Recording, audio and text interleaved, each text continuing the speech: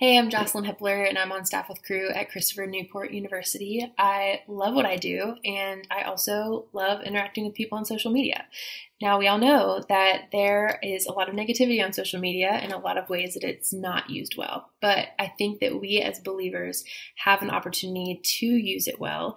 And so, just as much as we want to think about and gauge our interactions and conduct in real life, the same should be done online. And so, the platform that I tend to hang out the most on is definitely Instagram. I love and enjoy the opportunity that social media gives us to be creative and make our accounts reflective of who we are and what we enjoy. So I personally do a lot of that on Instagram, just sharing the things that I enjoy, the things that I'm reading, funny moments with friends, the bread that I make. Um, so, just really the most riveting content. Um, but social media is also interesting because you only know as much about me as I want you to know, right? And people can only know so much about you in an Instagram post or story.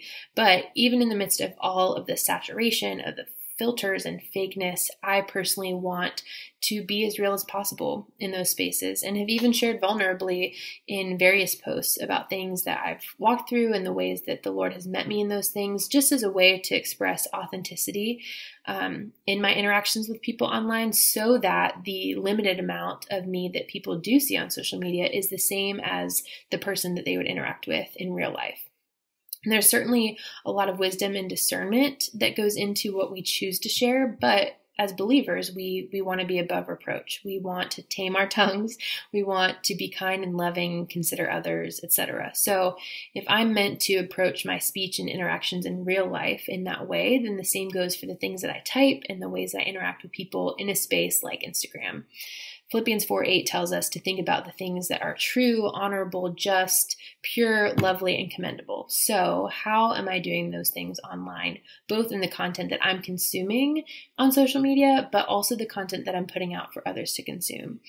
We've gotten to a point now in our culture where anyone can have a platform, but it's gotten to the point where individual people have now become brands. And so, another thing that I think about is that even if my Instagram has a certain aesthetic to it, or the content that I post has a specific theme to it, which is fine because I want to enjoy the things that I post and it's specific to me, but does that ultimately come back to me to glorify me and my platform and give me attention? Or does it serve as a springboard to give God glory ultimately and point ultimately to Him and direct other people to Him, just as my whole life itself is meant to do as a believer?